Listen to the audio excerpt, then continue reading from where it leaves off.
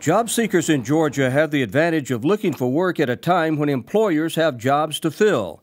And State Labor Commissioner Mark Butler says that means lower unemployment for March. We saw our unemployment rate decrease down to uh, 7%. Matter of fact, this will be the ninth month in a row we've seen our uh, unemployment rate decrease. At 7%, this is the lowest rate since September 2008.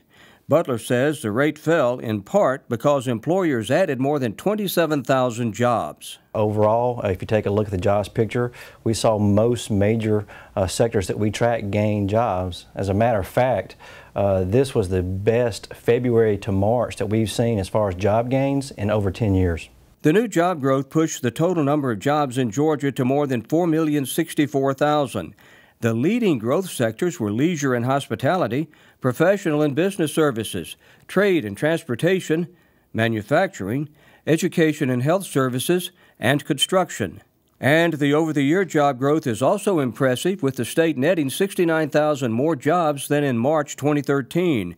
The big gains were in trade and transportation, leisure and hospitality, professional and business services, education and health services, manufacturing, and construction. Uh, and on a very good note, uh, if you take a look at uh, the percentage wise of the different sectors, construction, which is uh, an area that was hard hit during the recession, it is actually uh, leading all other sectors uh, with the most percentage over the year job growth at 5%. Employers continue to lay off fewer workers, which also helped to lower overall unemployment.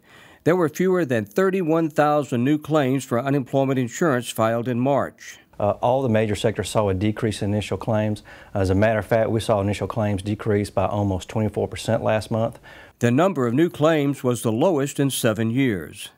For the Georgia Department of Labor, I'm Sam Hall.